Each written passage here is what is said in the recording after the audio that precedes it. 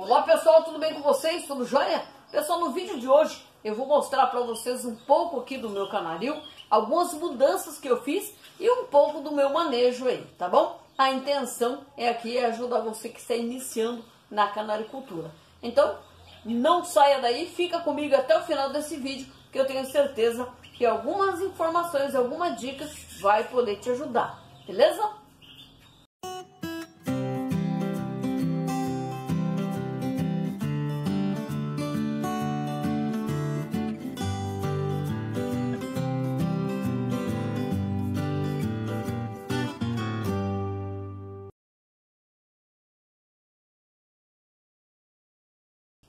Beleza, então pessoal, já começando o nosso vídeo aqui, o meu nome é Valdecir e esse aqui é o canal CF Criadores e Canários do Brasil.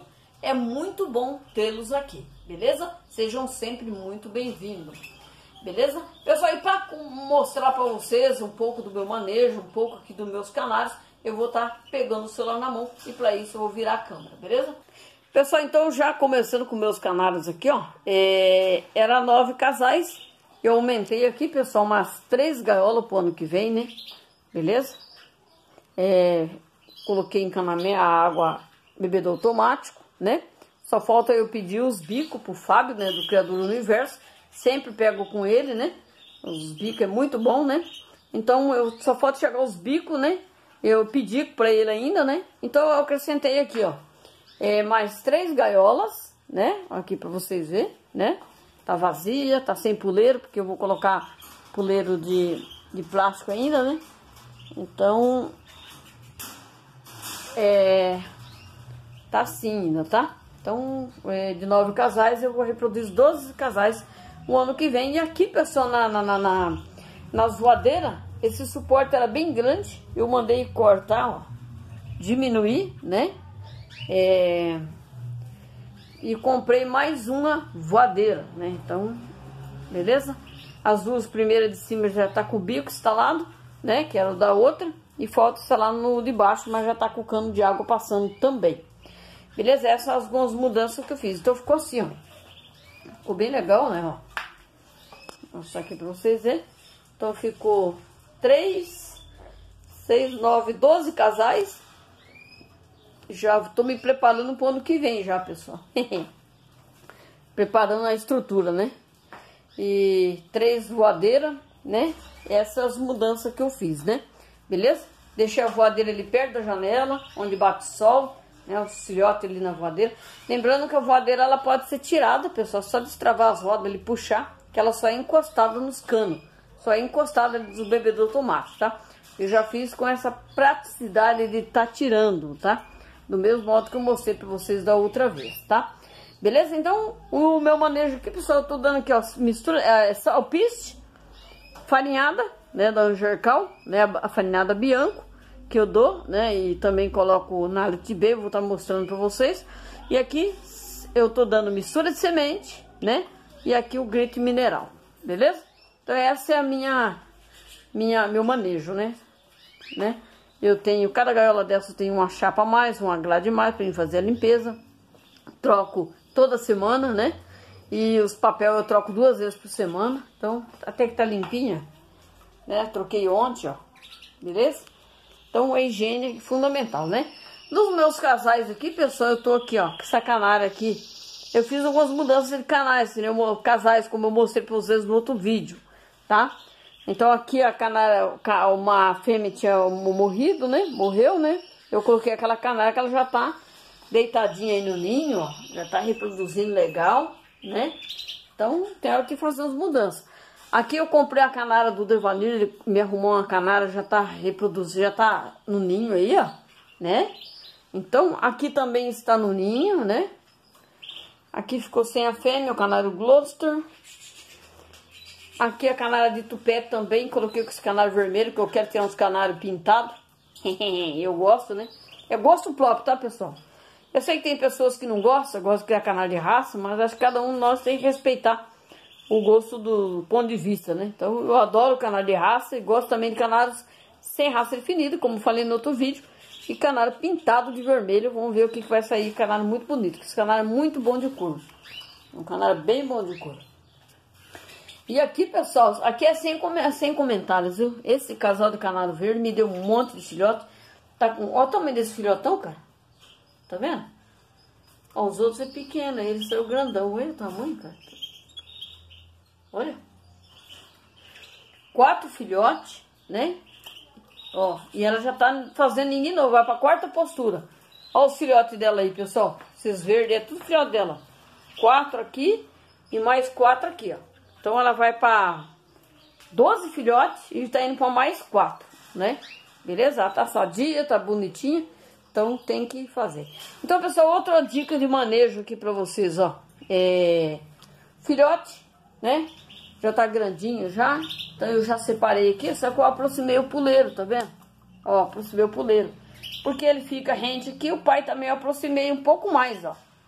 Não muito, porque o pai é grande, né? Então, não precisa tanto. Ó, pro filhotinho eu aproximei bem, ó. Então ele fica ali, ó, pedindo comida. E o pai daqui trata, ó. Tá vendo? Então é um manejo legal, aproximar os puleiros da grade aí, para ele ter um contato maior. Olha o tamanho desse filhote. Olha o tamanho dos outros. Olha ali, ó. Olha o tamanho, parece o pai dos canários, pô.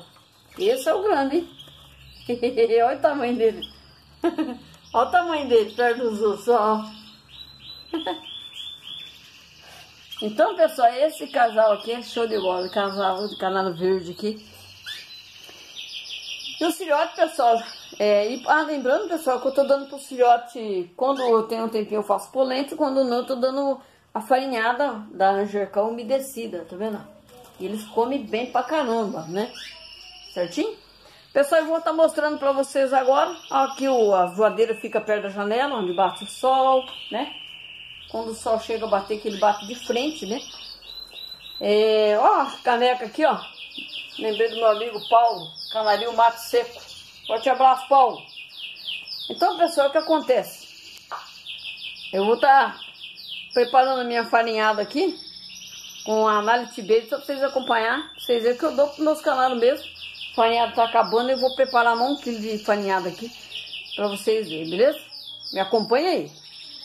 Pessoal, já iniciando o vídeo, então, aqui tá a farinhada, né, ó. Farinhada em jercal. É a Bianco, né? Essa aqui, ó, vou mostrar pra vocês o baldinho. Acabei de abrir, tá vendo? Ó, eles mandam esses baldinhos assim. E agora tá vindo a vácuo também, beleza?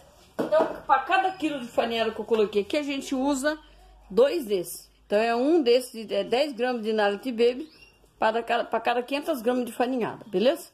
Isso aqui, pessoal, ajuda a prevenir é, a pinta preta, né, que é a proventriculite é, microplasmose e tantas bactérias, né?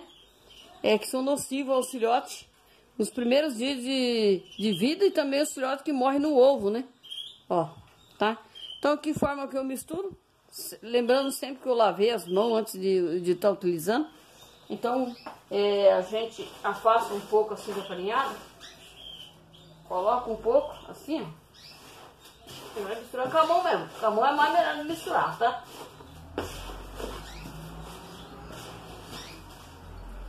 Põe de novo. Misturando com a mão tem que estar limpinha também, né, pessoal? Então, vou colocar mais um desse. Um quilo de farinhado. Aqui, ó. Reality Baby. Isso é bom pra tanta coisa, pessoal. Você que puder usar aí, pode usar. É, várias pessoas, canaricultores já usou, né? É, e testificou que é muito bom, né? Então...